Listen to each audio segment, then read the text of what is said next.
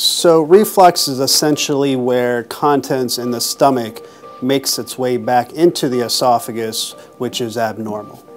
Thank you for choosing St. Peter's.